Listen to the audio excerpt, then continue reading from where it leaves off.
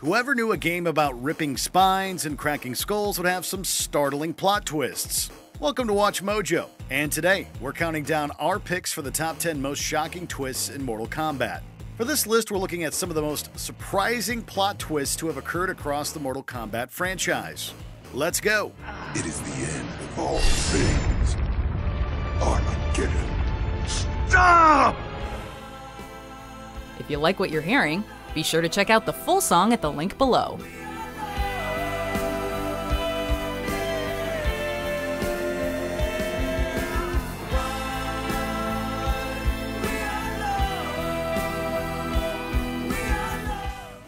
Number 10 Sindel's Betrayal, Mortal Kombat 11 Aftermath. Prior to the events of Aftermath, Sindel once ruled Edenia with her husband Jerrod before Shao Kahn invaded, killed Jerrod, and forced her to wed him. Despite taking her own life, Shao Kahn found a way to resurrect her in a brainwashed state, causing her to become the malicious Scream Queen we're all too familiar with. In Aftermath, however, Sindel supposedly returns to her natural self after being resurrected, according to Shang Tsung. Trust that I love you. Oh, Mother. But remember, this is Shang Tsung we're talking about, and we may have forgotten about that until Sindel begins plotting to kill Katana and reunite with Shao Kahn. Naive girl. Your mother is not bewitched. She never has been. Just when we thought the sorcerer was telling the truth, it bit us in the ass. You should have stayed dead. Please, that wounds me, daughter. Number 9. Liu Kang's Timeline Mortal Kombat 11 Aftermath.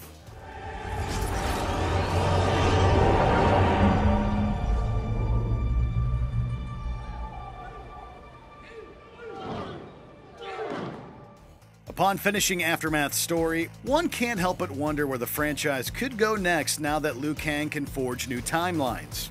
Well, we caught a glimpse of that after defeating Shang Tsung once and for all.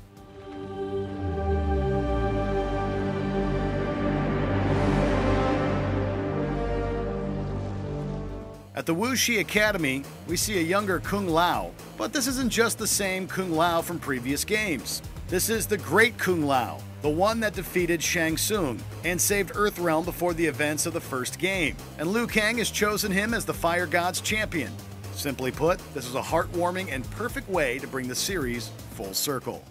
Trained? For what?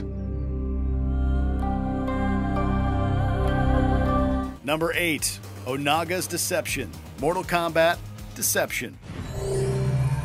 Shujinko, I see you have found the last of the Kamidogu. Yes, Damashi. I was on my way into the Nexus to place it upon the altar. Before Mortal Kombat got all cinematic with its storytelling, it already had a plot twist that was pretty significant in its story. In the single player campaign for Mortal Kombat Deception, we see a young Shujinko collecting Kamidogu for the Dragon King Onaga. However, he was under the impression that he was collecting these for an elder god named Damashi. Shujinko, please save me. Oh, fool! Damashi does not exist. The avatar you see before you is merely a projection of my consciousness. It wasn't until after he presented all the Kamidogu that Onaga revealed himself, and the Dragon King fled the Outworld to reclaim his throne and uses Kamidogu to make himself even more powerful. Damn, even ancient beings can be total scumbags. And so, Shujinko, your quest is done. Prepare for death.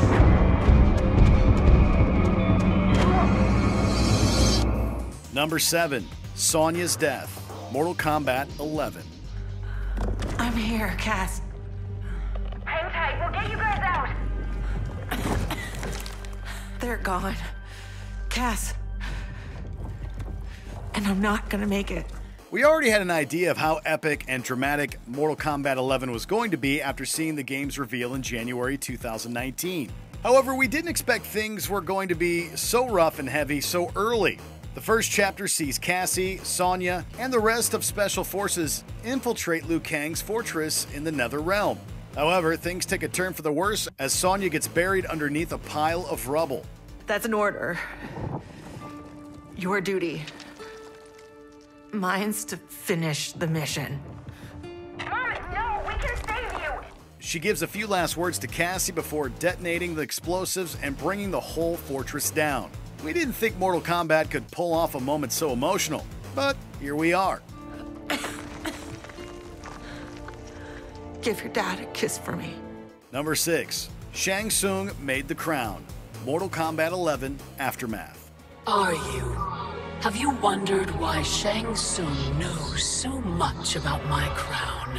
Because he did your bidding, gathering souls to fuel it. When you form an unlikely alliance with someone, like the deceitful Shang Tsung, you can't help feeling like they're always hiding something. So when he offered his help to Raiden and company, something felt off. He mentions that he was a prisoner of the Elder Gods, gaining power to absorb souls in order to give power to Kronika's crown. What he fails to mention, until about halfway into Aftermath, is that he is the one who forged her crown. The crown is his design. While he makes a point that if we had known this in advance, no one would trust his alliance. But how else are we supposed to react to a shady character offering help? Welcome them with cookies and roses? Had I told you, we would still be marooned at the beginning of time bickering among ourselves. Number 5. Mileena's Death. Mortal Kombat X. Enough of your prattle. Finish me, that I may join my father. Mileena has been a staple character since Mortal Kombat 2, only having skipped out on Deadly Alliance. This only made it harder to accept her fate when she was killed off in Mortal Kombat X. You do not deserve death by an Emperor's hand. Instead, I give the honor to my worthy First Minister. After failing to steal back Shinnok's amulet, Mileena is captured and taken to Kotal Khan. Rather than executing her himself, Kotal Khan instructs D'Vorah to do the dirty work. The nasty Kytinn kisses Mileena and infests flesh-eating parasites inside her. Sucks for those of us who are fans of Mileena, but damn, what a disgusting way to go out, man.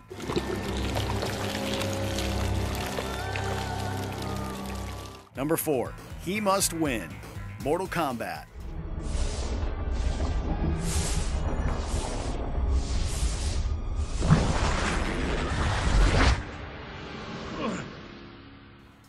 At the start of Mortal Kombat, the 2011 reboot, we're immediately shown that everyone is dead, and Raiden is about to be finished off by Shao Kahn. However, mere moments before his death, Raiden sends a cryptic message to his past self. He must win.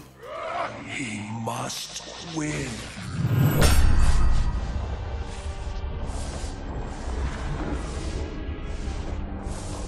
We suspected the same warriors as the Thunder God. It had to be Kung Lao or Liu Kang, right?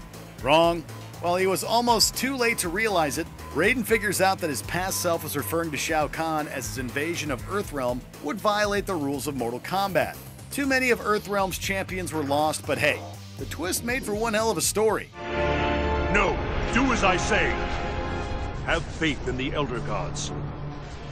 Have faith in me. Number 3. Sindel's Massacre. Mortal Kombat. The Lin Kuei, they surround us.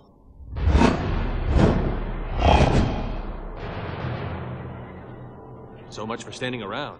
Before solving his past self's vague message, Raiden went to seek guidance from the Elder Gods.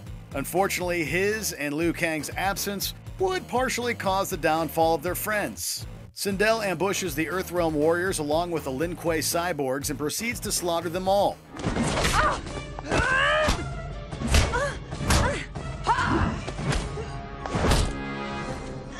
Johnny and Sonya are the only survivors while Katana is left mortally wounded. Nightwolf manages to take her down, but only by sacrificing himself. Honestly, we weren't expecting to see most of the cast killed off like this, and it hurt to watch.